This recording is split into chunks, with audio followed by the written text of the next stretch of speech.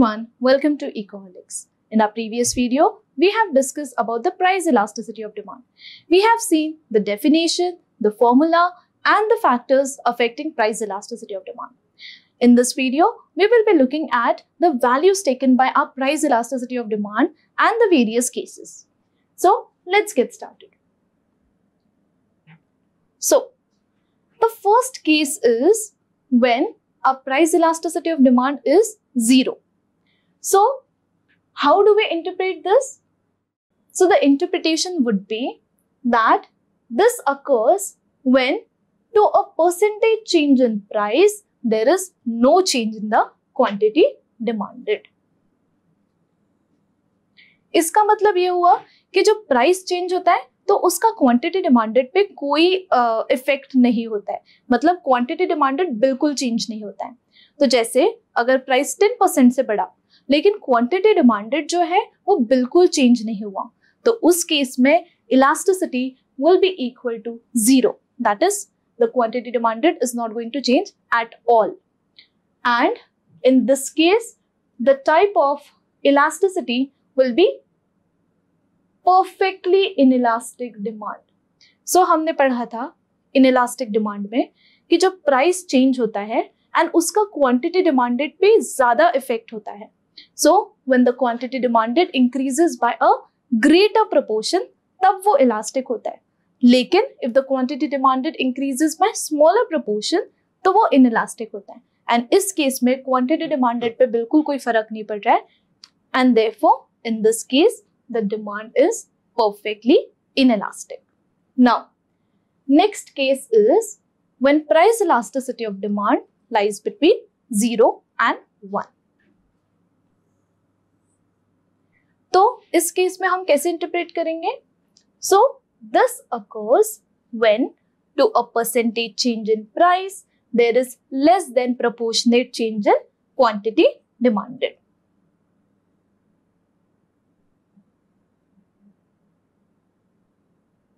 now this sounds a bit complex लेकिन इसे हम एग्ज़ाम्पल के थ्रू अंडरस्टैंड करते हैं।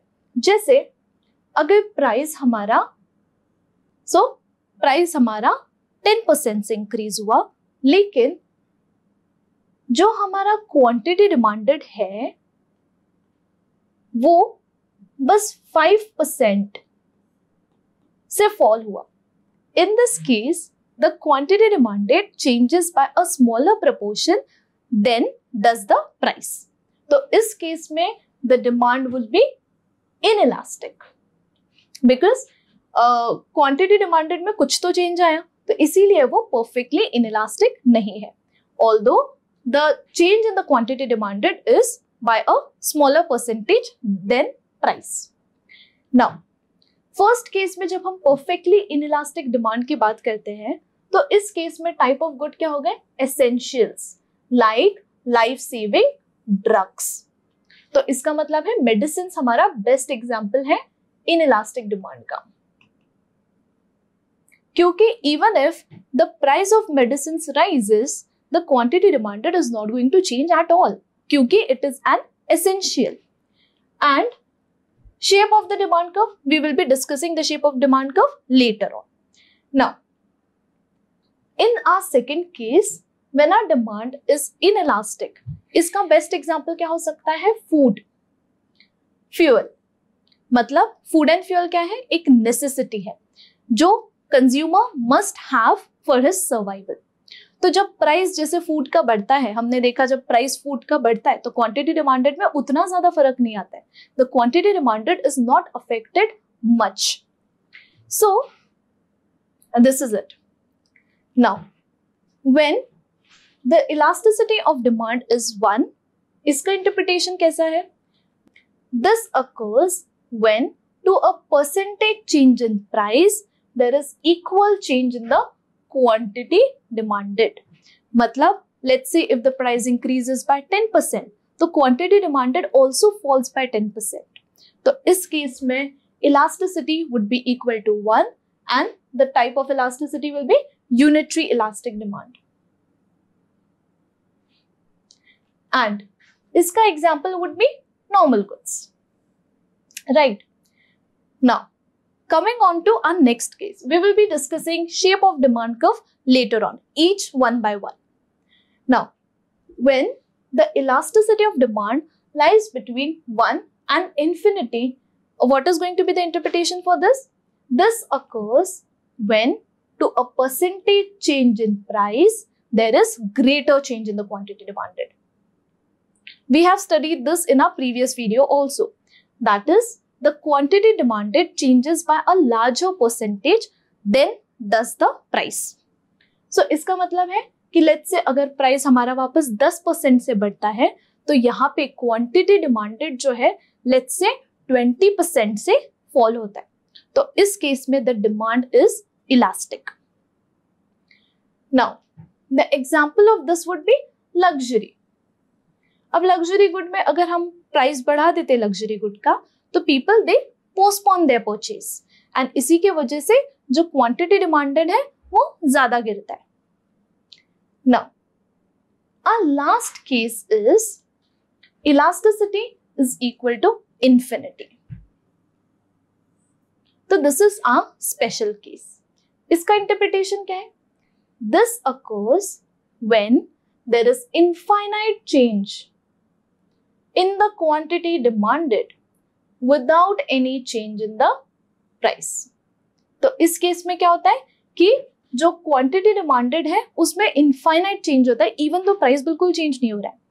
तो this is an example of perfect competition तो परफेक्ट कॉम्पिटिशन में क्या होता है कि हम सारे graphs we will be studying the shape of demand curve one by one but before that just for this case I be explaining यहाँ पे प्राइस है ये क्वांटिटी है। परफेक्ट कॉम्पिटिशन में क्या होता है? We have a demand curve which is horizontal to X axis Okay, it's a horizontal line parallel to x-axis. तो इस केस में क्या होता है कि ये सर्टेन प्राइस पे at this price people are ready to buy all quantity मतलब जो क्वांटिटी डिमांडेड है प्राइस तो चेंज नहीं हो रहा है, लेकिन क्वांटिटी डिमांडेड चेंज होता ही जा रहा है। मतलब there is infinite change in quantity demanded without any change in the price. तो इस केस में अगर प्राइस थोड़ा सा भी बढ़ता है the quantity demanded will be reduce to zero and ये एग्ज़ाम्पल होता है परफेक्ट कॉम्पिटिशन का। ये एक इमेजिनरी सिचुएशन होता है। So what we can conclude is a price elasticity of demand lies between zero and infinity right so our elasticity of demand lies between 0 and infinity, right? Now, we will be looking at the shape of demand curve one by one. तो सबसे पहला case है perfectly inelastic demand. So, perfectly inelastic demand. Now, in case of perfectly inelastic demand, our ET, that is elasticity, is zero.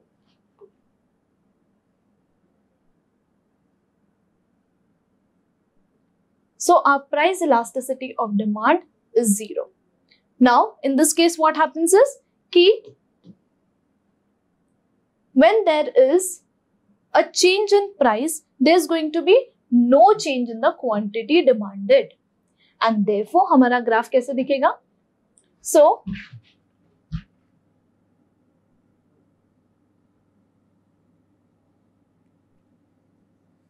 a graph would look something like this.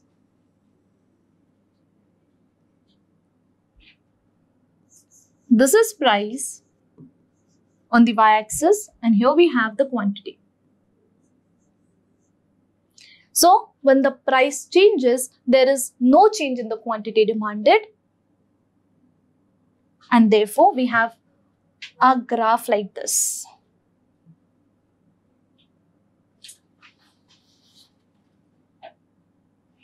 So our shape of demand curve is vertical.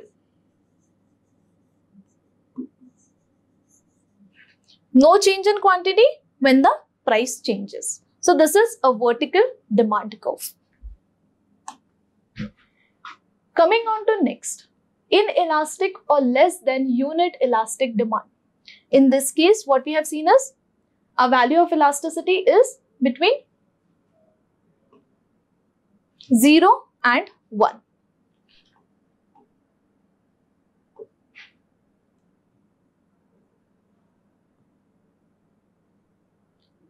Less than 1, greater than 0. तो इस case में क्या होता है So how would our graph look like?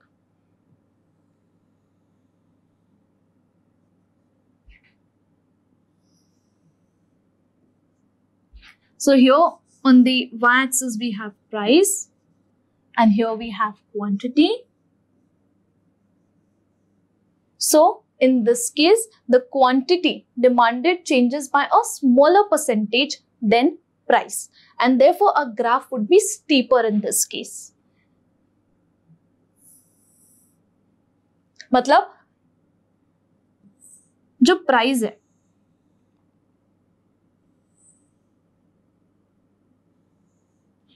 Price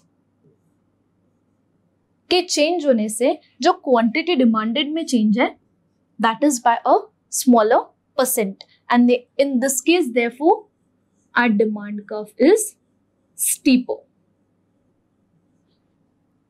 Now, coming on to next, unit elastic demand. In this case, our elasticity is equal to 1. In this case, our graph would look something like this.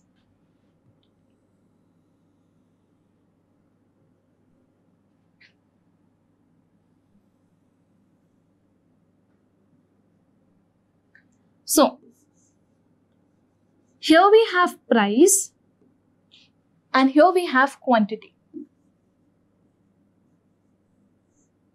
Now, in case of unit elastic demand, what happens is the quantity demanded. So, there is a equal change in the quantity demanded. मतलब जितने percentage से price change होगा उतने ही same percentage से quantity demanded भी change होगा and therefore हमारा graph would be So our graph would be a straight downward sloping line.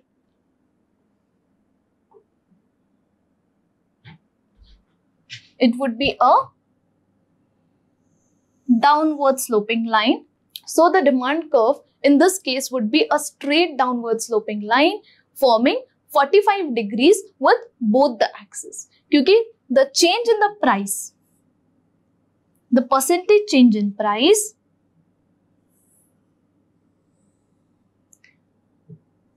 जितने से लेट से ये प्राइस ड्रॉप हुआ उतने से ही उतने ही परसेंटेज चेंज से क्वांटिटी हमारा इंक्रीज हुआ now coming on to next elastic or more than unit elastic demand. In this case, our value of elasticity lies between 1 uh, less than infinity greater than 1. In this case, our graph would look something like this.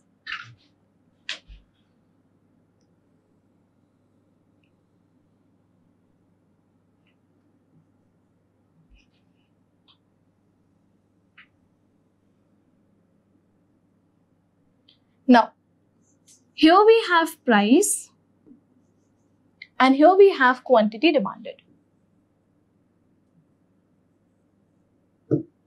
Now, in this case, what we know that in case of elastic demand, the quantity demanded changes by a larger percentage than price. तो इस case में जो हमारा demand uh, curve होगा वो होगा flatter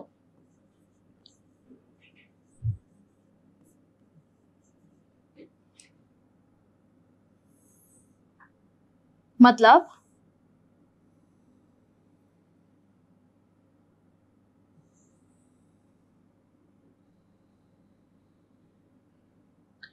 ये हमारा प्राइस फॉल हुआ। लेकिन क्वांटिटी डिमांडेड ज़्यादा प्रपोर्शन से बढ़ा। And here the demand curve is flatter coming on to next perfectly elastic demand perfectly elastic demand. In this case, the price elasticity of demand is infinity. Now, in this case, the graph would look something like this.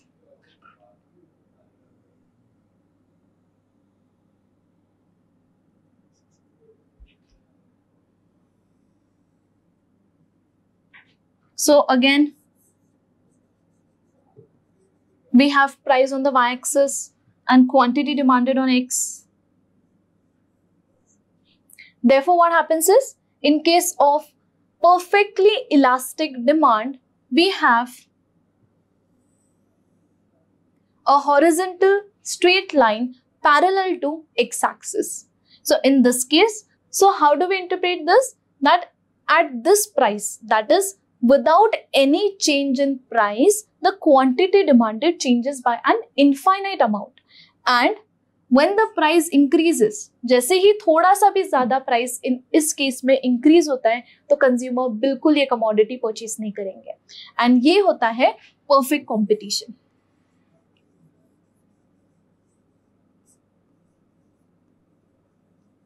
ये होता है हमारा perfect competition वाला case so